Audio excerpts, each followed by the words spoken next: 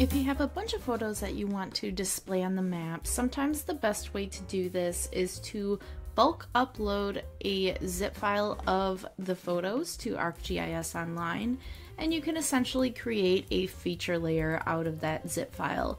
It's important to note that this will only work for photos that have geotagged information. If there isn't a location in the metadata for the photo, it will most likely not appear on the map. So that's just something to think about before starting this process if you notice that a couple of the photos are not rendering in the correct location. The first thing we want to do is click on New Item, and then I'm going to add a zip file of a batch of photos that I want to upload to ArcGIS Online. So we want to change this file type. Instead of shapefile, you want to select photos with locations and this will enable the program to see that geotagged information and it will appear on the map. We'll click next and then we'll give it a name. And depending upon how many photos you have, how big they are, it may take a few seconds or several moments in order for the photos to generate as a feature layer. You'll know it works because it will generate a feature layer from the list of photos that were in the zip file.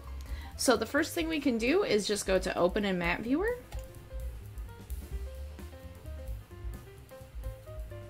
and we'll see the photos appear on the map. In this case, even though there are quite a few photos, a lot of them are in very similar locations, so even though it only looks like four points on the map, when we scroll in, you'll see that there's multiple points for that location.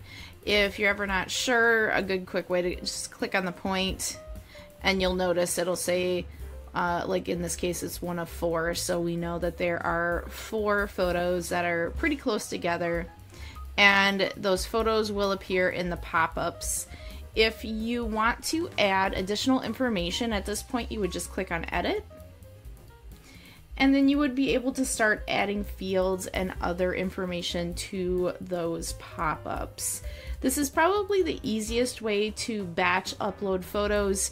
If you only have a couple, maybe less than 10, doing a manual upload with a spreadsheet of points is probably the best way to go. But if you have a lot more than that, doing the manual upload with a spreadsheet can be really time consuming.